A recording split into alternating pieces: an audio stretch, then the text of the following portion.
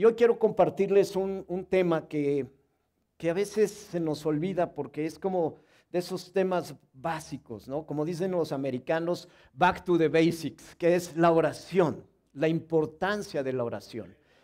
Y esa oración, pues realmente es algo que, que Jesús fue muy, muy enfático, tan enfático que fue la única pregunta de un cómo, ¿verdad?, que le hicieron los discípulos a Jesús en el tema de enseñanza. Decir, eh, ¿cómo, ¿Cómo oras Jesús? Enséñanos a orar, ¿verdad? Porque él oraba de una manera muy especial y lo veían que pues, realmente tomaba ese tiempo de oración de una manera tan, tan íntima. Y, ellos dijeron, bueno, ¿qué pasa ahí en esa intimidad? ¿Qué se va a hacer?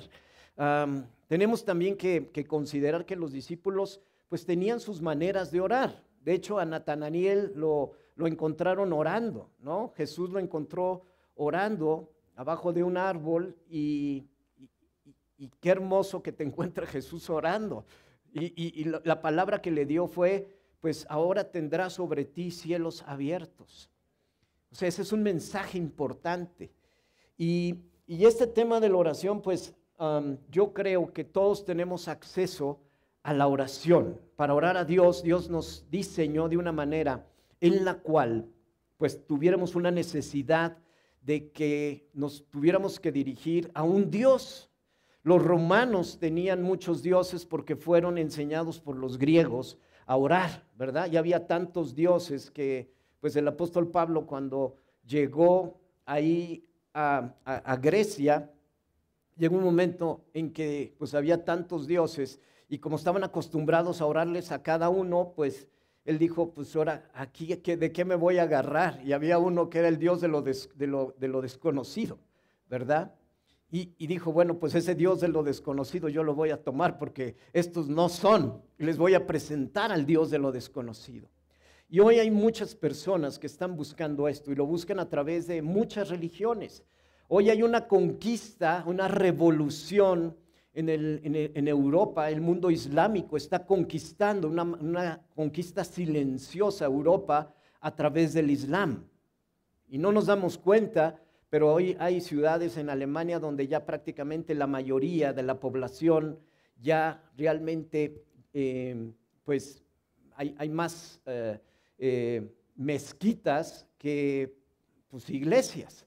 Y, esta conquista silenciosa está viniendo porque pues ya en el mundo occidental los países están teniendo menos hijos. Las tasas de natalidad están bajando de una manera alarmante. En Japón, creo que el otro día se los comenté, pero hay una población que hizo una gran fiesta porque después de 25 años nació el primer niño, el primer bebé en ese, en ese poblado. Están sumamente preocupados, ¿sí? Y hoy pues todos e, es como una cultura en general donde ya los jóvenes pues ya no quieren tener, tener niños, ¿verdad? Y, creen que, bueno, pues el día de mañana cuando ya crezcan, lleguen adultos mayores, pues va a llegar un problema en la economía de quién va a sostenerlos. Estamos rompiendo con lo que son pues las leyes naturales de parte de Dios de multiplicar, de fructificar. Pero entrando otra vez en, este tema, lo interesante de la oración es que eh, Dios no hace acepción de personas. Eh, y así como recuerdan a Cornelio, este em, centurión que estaba orando en su casa y era un hombre dadivoso, oraba y oraba a, Dios así como Dios, ¿verdad? no le ponía un nombre específico. Y, Dios manda a, Pedro para tener un encuentro con Cornelio. Porque cuando hay esa necesidad genuina de oración, Dios responde. Igual le puede responder también a un musulmán, a un budista, a, cualquier persona sin denominación, cuando ellos tienen un hambre de conocer a Dios. Y siendo sinceros también en mi caso, pues yo naciendo en un hogar católico, pues ustedes saben, ¿no? Hay, santos para todo, hay vírgenes, hay todo, y, yo respeto todo eso porque, bueno, pues finalmente es una tradición, así se nos enseñó. Pero poco a poco, en, ese, en esa hambre que yo tenía de tener un encuentro con un Dios real, porque yo leía a veces la escritura, a veces, y veía yo tantos milagros y yo dije, Dios, yo quiero esto para mi vida. Si esto sucedió una vez, ¿por qué no sucede otra vez? Y oré así. Y de repente, pues Dios fue proveyendo, ¿verdad? El camino correcto para poder tener un encuentro con Jesús. Y en ese momento, cuando yo tuve este encuentro con Jesús, vino una revelación del Dios verdadero. Y hoy ese Dios verdadero se está moviendo y se está revelando a muchas personas sin importar la, nacionalidad o la religión o la denominación. Porque Dios está derramando hoy su espíritu sobre toda carne. Y hoy estamos viendo encuentros de personas judías, de personas eh, árabes, de personas chinas. En China, no sé si tú sepas, pero es la iglesia donde más está creciendo el Evangelio. Es una iglesia subterránea porque estaba reprimida. Y hace unos meses tuvimos aquí una persona que vino de China y me dice, no, es que allá lo que hacemos es, como no podemos estar teniendo como el día de hoy así nuestros cantos y con todo el, el power, ¿verdad? Y levantar nuestra voz y la guitarra y la batería y todo. Lo que hacen es simplemente mover su boca articulando las letras de la alabanza, porque no lo pueden hacer abiertamente. Están contenidos, pero aún así su corazón está clamando a Dios. Y cuando tu corazón clama a Dios, Él responde. Entonces cosas hermosas están sucediendo y nosotros que tenemos la verdad, la revelación, cuántos chinos crees que hoy estarían aquí en este lugar desbordados en alabanza y haciendo filas afuera nada más por venir un domingo y experimentar lo que nosotros experimentamos en un domingo en la presencia de Dios? Tenemos oro y es el tiempo para nuestra nación, es el tiempo donde estamos viendo ya los milagros y los prodigios y las señales. Hay iglesias que hoy están orando por un avivamiento, ese avivamiento lo tenemos hoy aquí. Lo vemos en todos los ministerios de esta iglesia, en las cárceles, en los, los healing rooms, ¿verdad? Eh, les comparto, no sé si ya se los había comentado, pero esta semana fue la reunión internacional de Healing Rooms México. Nosotros llevamos este, este territorio, nos fue asignado por gracia de Dios para mí, para mi esposa, junto con Cele, con Ale, con Patti Calcaño, todo el equipo, ¿verdad? Esto ya hoy al día de hoy México es la nación con más healing rooms aperturados en el mundo. ¿Sí? Para darle la gloria a Dios. ¿Y sabes por qué? Porque es el tiempo, es el tiempo de nuestra nación. Todos los que están llegando hoy sea, están llegando con una necesidad de tener encuentros sobrenaturales con Dios, porque es lo, lo sobrenatural de Dios que va a cambiar esta nación. Tú puedes leer todos los días noticias y cómo estaba leyendo esta semana cómo ya el narcotráfico y las personas que están en los carteles son el quinto empleador. Es increíble lo que está sucediendo. ¿Tú crees que va a haber un ejército, alguien que llegue y nos vaya a salvar de esto? No. Son personas que su Dios, la mayoría, están entregados a la santa muerte. Y aquí está mi hermano que se los puede constatar que va a las prisiones y adoran a la Santa Muerte.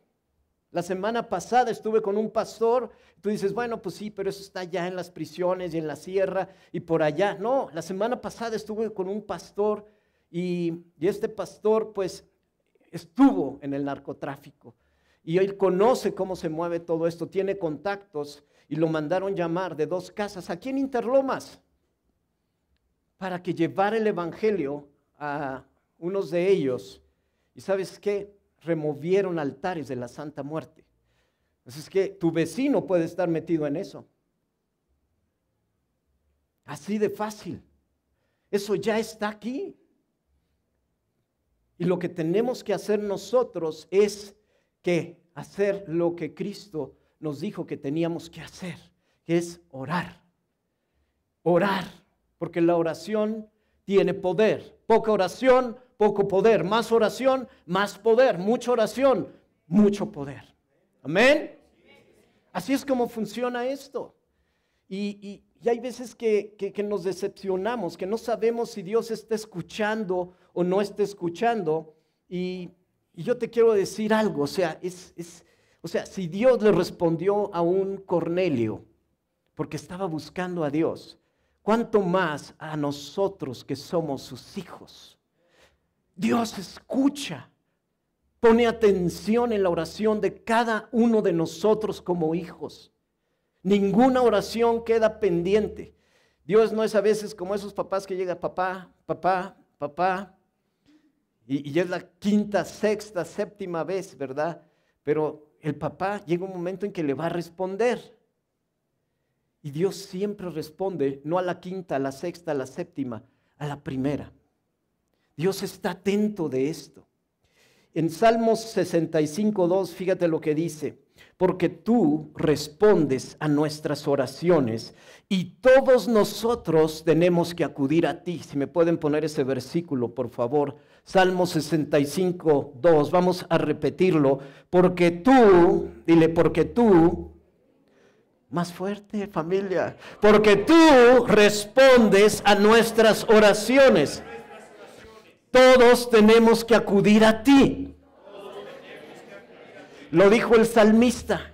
El salmista lo único que tenía pues era un contacto medio vago con, con Dios porque no tenía el Espíritu Santo. Sabía que Dios responde, sabía que, que lo que estaba haciendo de escribir un salmo como fue David, había un Dios que le respondía, pero no tenía el Espíritu Santo. Hoy tenemos nosotros al Espíritu Santo.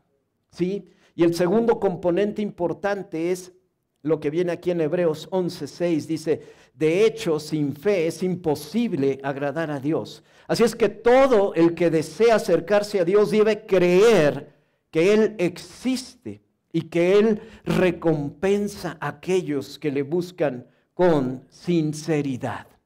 Quiero um, compartirte aquí algo que que a mí es una oración que a mí me llamó mucho la atención y, viene aquí en el, en el, um, en el libro de, Daniel, en el capítulo 10, versículo, versículo 12. Um, y es, es, una oración muy, muy interesante. Si, me la tienen ahí, uh, si no, acá voy a poner aquí.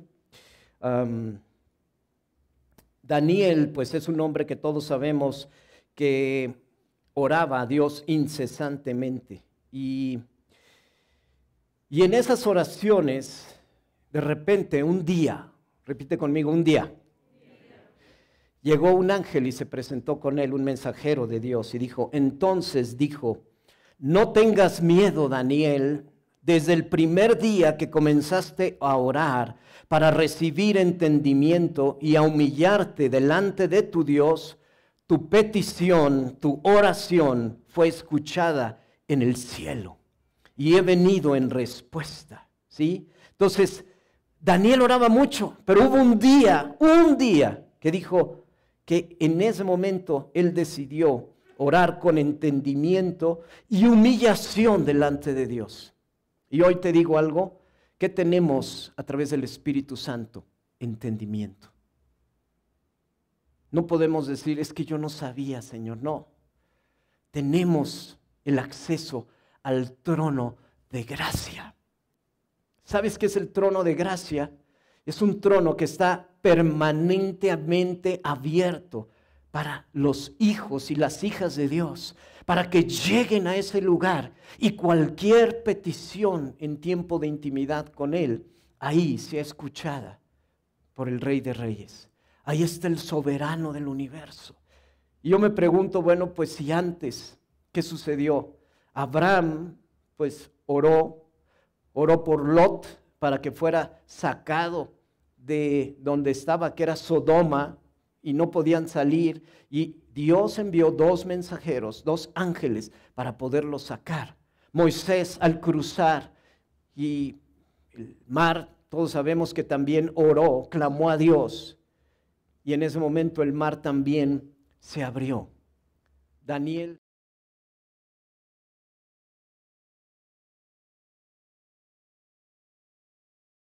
tener revelación de sueños y también oró a Dios y los sueños fueron revelados.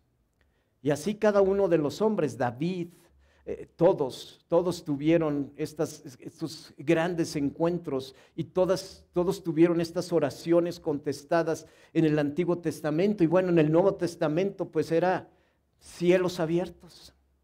¿Por qué? Porque un día en Pentecostés dice que los discípulos, 120, estaban orando cuando llegó el viento recio.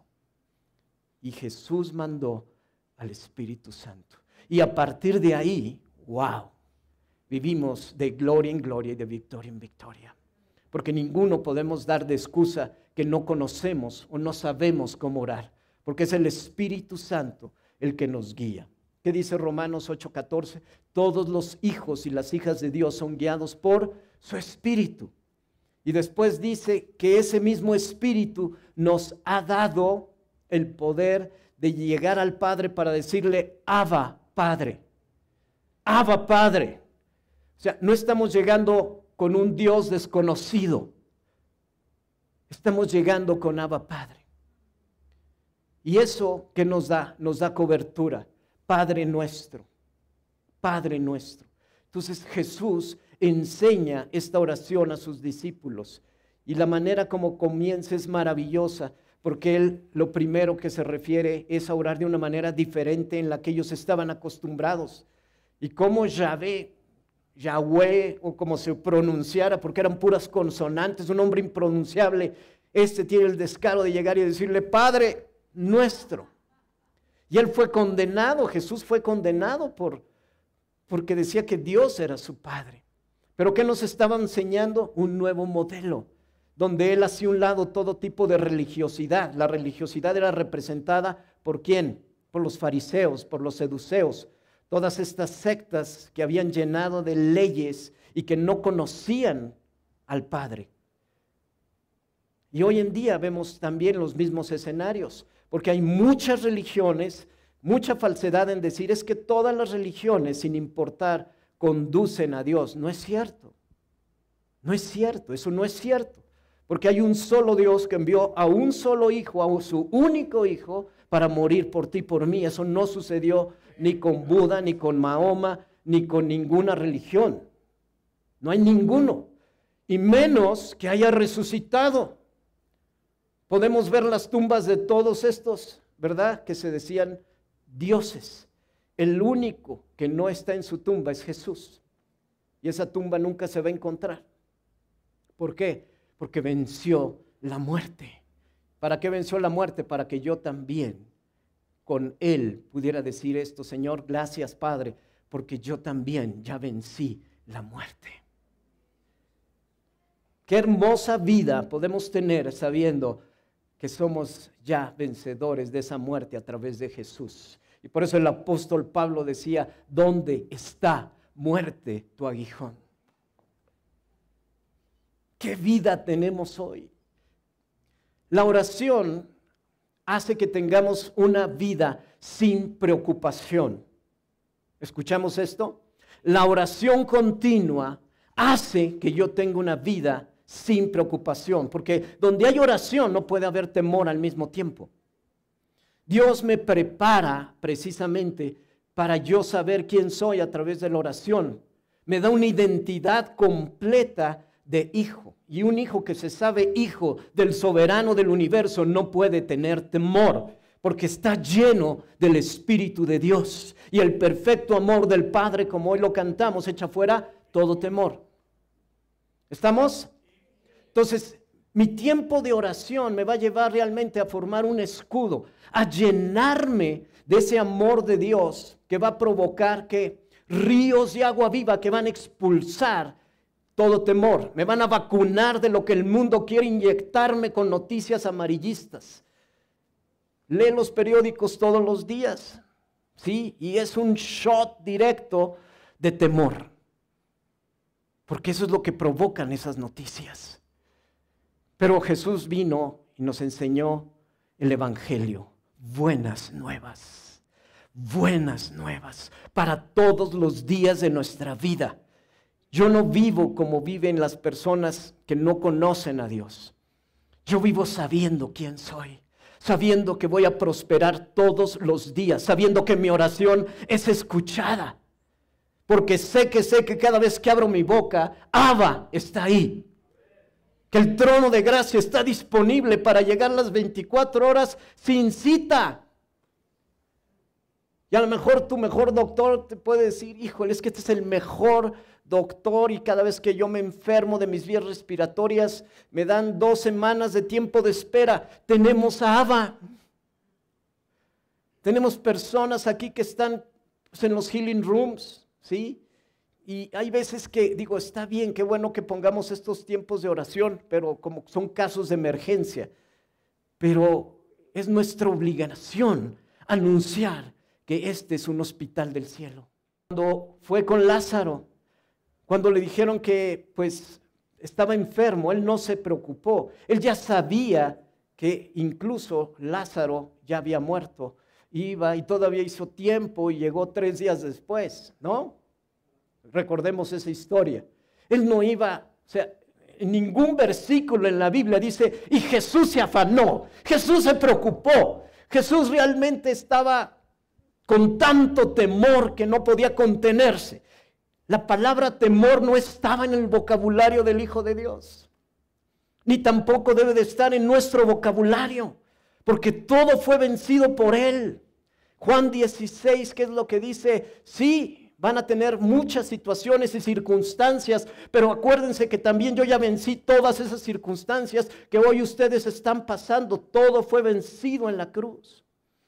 Entonces, eso nos da una vida de victoria y cada vez que vienen circunstancias adversas de las cuales estamos expuestos mientras estemos aquí en la tierra y viviendo en este cuerpo, vamos a tener circunstancias adversas.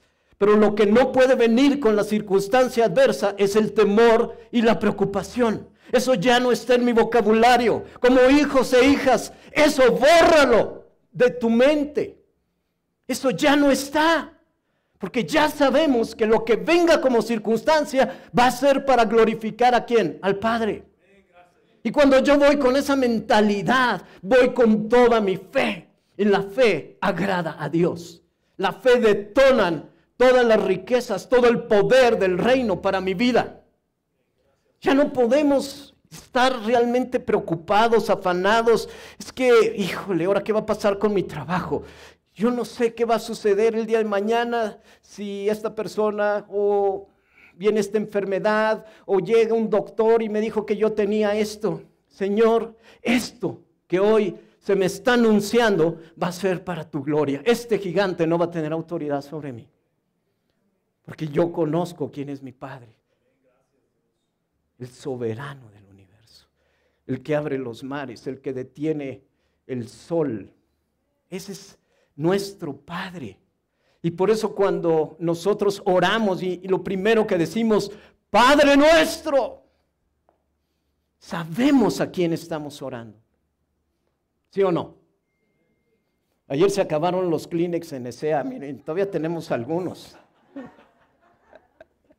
Me encanta porque dice nadie, es el ministerio de los Kleenex, sí. Me encanta comprar más y más. Pero a lo que voy con todo esto es que tenemos unas herramientas tan hermosas, tan maravillosas, que a veces pues no estamos tan conscientes de poderlas ejercer con esa, con esa autoridad. Y Dios nos dio estas herramientas incluso para poder impactar todo tipo de escenarios. Yo creo que este es un tiempo donde en verdad si están viniendo tantas situaciones que parecen ah, incontrolables, donde a veces pues esto puede, puede lucir, donde somos totalmente incompetentes, ¿no? Ahí viene la gracia de Dios, viene su poder, viene su manifestación y viene su victoria.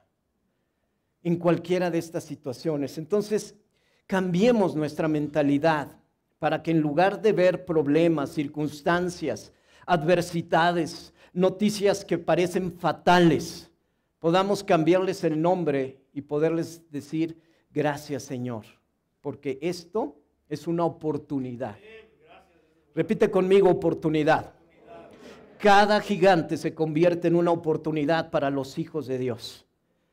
Porque esa oportunidad es para llevar el nombre y la gloria de Dios en alto y que muchos crean.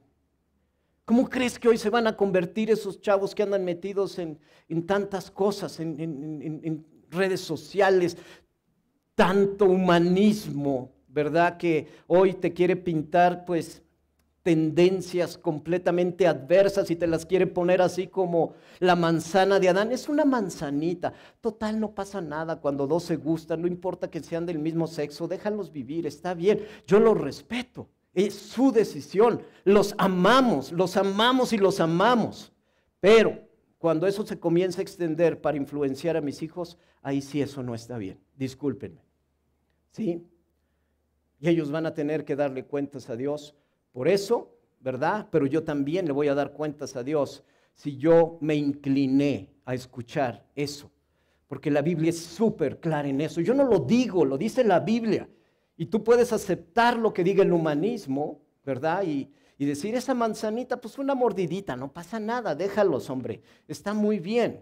Sí, pero eso, eso ya trae una intención del corazón que no es correcto. ¿Entendemos? Entonces, todo eso, pues necesitamos como vencerlo a través de la oración. ¿Por qué? Porque en el mundo espiritual, hoy todo eso que estamos viendo, esta guerra de Ucrania contra Rusia, todo lo que hoy se está desatando, esta misma pandemia que vino hace un par de años y, no sé cuántas más cosas van a venir, porque lo dice también la escritura, de todo lo que va a suceder también en estos que son los últimos tiempos donde el Espíritu de Dios se está derramando, ¿verdad? nosotros el poder más grande va a venir a través del tiempo de intimidad con el Padre. Llegar al trono de gracia y decir, Señor, aquí sí, todo lo que es imposible, aquí se va a hacer posible. Y voy a tener mis tiempos de acercarme con Él. Pero para esto necesito saber cómo orar. Daniel nos da una pista, dice, el día, el día que dispusiste tú, Daniel, para tener entendimiento y para humillarte delante de tu Dios. Es decir, yo no voy con cualquiera, yo primero voy con mi Dios. Antes de llamar al 911, llama al 911 de arriba. ¿Sí? Y, claro, o sea, para llamar al 911, pues no puedo llamarlo con pánico, con gritos, desesperado. ¿Por qué? Porque uno de los frutos de tener al Espíritu Santo es la paz de Dios que sobrepasa todo entendimiento. Filipenses 4:6, que fue lo que nos dice el apóstol Pablo, dice, no estén afanados por nada, no estés preocupado por nada, por nada. Nada en griego es eso, ya sabemos griego. nada, nada, nada. Es más, la palabra, como les digo, esa palabra temor no tiene que estar presente es un balance en mi vida, porque esa puerta del temor realmente que es el, que la aprovecha más, ¿quién es? El enemigo. Tú abres esa puerta y ahí se comienza a meter inseguridad. Ahí se comienza a meter todo aquello que no queremos, ¿verdad? Para tomar malas decisiones, para tomar decisiones apresuradas. ¿Cuántos hemos tomado malas decisiones cuando nos presionan? ¿Cuántos? Yo les puedo decir que yo tomé muchas así, pero no más, no más. O sea, el mundo no me va a llevar a su manera de vivir esta vida con la plenitud que Cristo me dio como hijo y como hija. O sea, tenemos que vivir expuestos en la oración. Y esa oración es un tiempo donde quítale la palabra oración. Vamos a, porque a veces inmediatamente asociamos oración con estar ahí inclinados y darnos golpes de pecho y por mi culpa, por mi culpa, y ahí estamos, ¿verdad? Pero la oración es algo mucho más agradable. La oración es ir con Dios, entrar a ese trono de gracia y conversar con Él. Conversar. ¿Cuántos conversamos con nuestro Padre? Mi Padre hoy ya no, no está aquí está presente, ¿verdad? Pero está en la presencia de Dios. Pero cuando estaba presente yo conversaba con él. Y hoy es lo que hago yo con mi hijo, con lo que hago con mis hijas. O sea, converso con ellos. Y a través de conversar, también yo estoy pendiente de sus necesidades, porque como padre, el corazón que Dios me puso como padre o que te puso a ti como mamá, ¿qué es lo que hace? Estar pendiente del corazón de tus hijos, de escuchar a tus hijos, de sensibilizarte, más que reprimirlos y en el momento en que abren la boca, no, es que eso no está, eso no está bien, eso no es correcto, no, eso es religiosidad, eso no funciona así, así no se van a arreglar las cosas. ¿Para qué es la oración? Tú escucha a un hijo como ora. A mí me encanta escuchar, y se los voy a confesar, en la, oración de varones, me encanta escuchar sus corazones porque ellos están siendo vulnerables, ellos están abriendo su necesidad y yo sé cuando hay un matrimonio que no está bien, sé cuando las finanzas no están bien, sé cuando hay algo que, que, que simplemente no está funcionando de manera correcta en la manera de orar. Mi primer grupo en casa fue en mi familia. Y me encantaba en ese tiempo que mis hijos eran pequeños escuchar sus corazoncitos, cómo hablaban, ¿verdad? Que son grandes corazones. Porque ahí es donde tú vas a escuchar su necesidad real, en la manera como ellos oran. Es importante que restauremos esos tiempos de oración en familia, sobre todo si tienes hijos pequeños, escúchalos. Provoca esos momentos donde, oigan, a ver, simplemente en la mesa, vamos a dar gracias a Dios. Y también vamos a tener este tiempo para que tú hagas una oración. Pídele a Dios algo. Y son tan inocentes que te abren su corazón y, es que este amiguito es el que me está haciendo la vida imposible y se llama Juanito y ya se echan toda una, una hora para dar gracias a Dios, ¿verdad? Pero lo que están haciendo es llegando al trono de gracia igual que nosotros llegamos. Y en ese momento, ¿qué haces tú como papá? ¡Wow! Eres sensible a lo que tu hijo o tu hija está viviendo en ese momento. Cuánto más sensible es Dios, que tiene una bondad infinita, porque Dios es amor. Cuánto más nuestro buen Padre va a estar atento de nuestras oraciones. Él te está escuchando cada palabra que dices. Y por eso esos tiempos donde parece que son tiempos muertos, donde tú te vas trasladando, los tiempos donde te estás bañando, donde te estás vistiendo, son momentos maravillosos para tener esos tiempos transaccionales con Dios en el trono de gracia. Cada vez que tú estás con Dios es una exposición a contarle lo tuyo y Él te va a recompensar de muchas formas por estar pasando ese tiempo con Él, porque Él está atento a tus necesidades. ¿Lo creen? Entonces, qué hermoso es nuestra vida en oración continua. Cada tiempo de intimidad, yo me siento abrazado, cubierto, protegido por el Rey del universo, por este soberano que está al pendiente de cada una de mis necesidades. Él se preocupa, él se, él se ocupa de ti. Él se ocupa de ti. Padre nuestro. Y todo lo que hay en su reino es para cada uno de nosotros, porque somos coherederos de Él. Y no solo eso, sino también colaboradores de Él en esta tierra. Cuando tú estás alineado a su voluntad, todos los recursos del cielo son para ti. Todos. ¿Cuántos? No hay límites. Todo eso está a nuestra disposición. Un día sin oración, pues tú comienzas ese día y muy probablemente vas a tener tiempos donde las cosas no vayan bien. ¿Y por qué? Porque no nos preparamos para poder conquistar el resto del día, para hacer su agenda mi agenda y que esa única agenda sea poner mis ojos en el reino de Dios. Todo lo que haces, las personas que conoces en un día, es por la voluntad de Dios. Siempre hay que preguntarle al Señor, ¿para qué me encontré con esta persona? Porque este amigo que no me hablaba hace años de repente me contactó? Hay algo ahí. Espíritu Santo, muéstrate, muéstrame, te vas a asombrar. Señor, tengo que orar por esta persona. Te va a poner una sensibilidad para los demás. Y cuando tú vives en ese mundo, estás aislado de todas las situaciones que a veces quieren ponerte en tu cabeza ese temor porque estás haciendo la voluntad del buen Padre. Y caminando así, tenemos una vida donde todo lo que hagamos nos va a ir bien, porque estamos sintonizados con el tercer cielo,